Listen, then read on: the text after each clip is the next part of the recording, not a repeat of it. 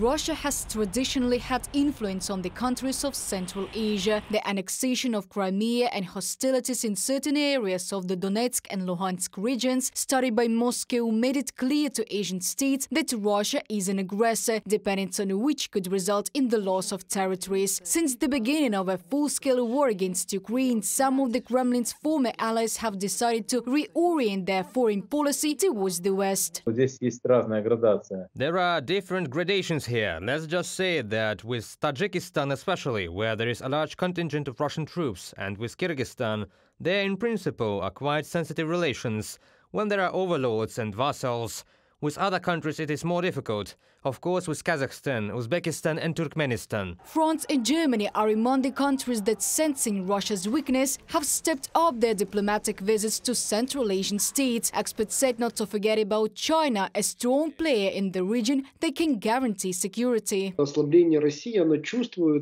weakening of Russia is felt, but at the same time, there is no complete replacement for Russia's withdrawal from the region and its replacement by China.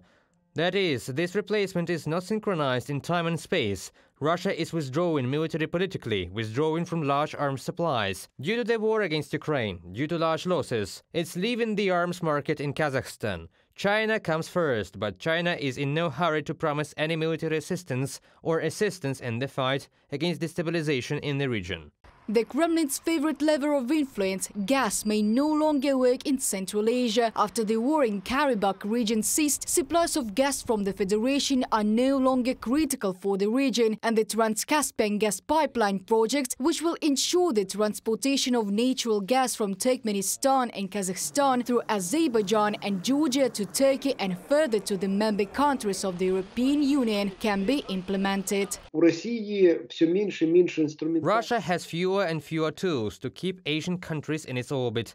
New favorable conditions are being created, allowing countries to enter the markets of the European Union and world markets through the Southern Caucasus. On the other hand, China is also increasing its economic presence. Since 2019, there has been a Chinese military base in the Pamirs in Tajikistan, patrolling the border with Afghanistan.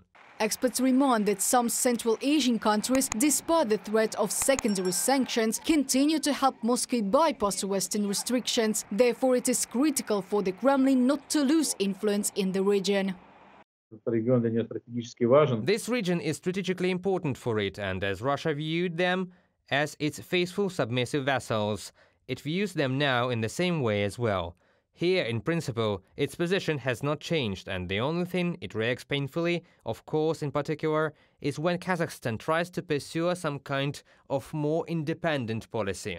Despite the threats of propagandists and attempts at blackmail, Russia's former allies are leaving its influence one by one, and the continuation of a full-scale war against Ukraine only aggravates Putin's situation, experts assure. Reported by Diana Kolesnik, Larissa Zubenko, UATV News.